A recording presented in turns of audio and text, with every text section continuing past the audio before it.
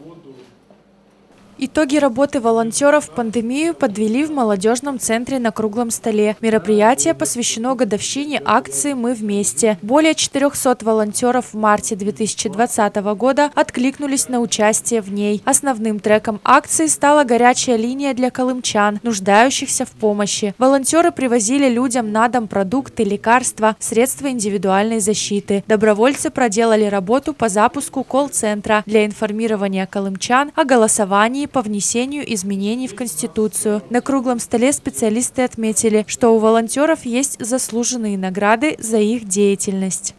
У нас есть, ну, они как, как бы такие большие знаковые, типа э, молодежной премии э, добрые, не молодежная премия «Добрые дела» для премии губернатора для добровольцев. У нас в прошлом году появился нагрудный знак как региональная награда э, доброволец Магаданской области.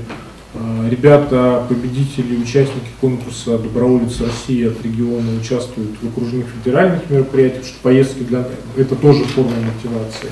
На круглом столе специалисты отметили, что волонтерам необходимо взаимодействовать с депутатским корпусом. Народные избранники ближе находятся к людям и смогут помочь волонтерам быстрее. Я бы посоветовала, что, может быть, кто-то был бы закреплен за депутатским корпусом, например, городскую думу, там, либо областной думу. Почему? Потому что депутаты на своем участке избирательном абсолютно знают всех. Эксперты отметили, что за время пандемии волонтеры проделали большую работу и помогли многим людям. Поэтому движение «Мы вместе» должно продолжать свою работу.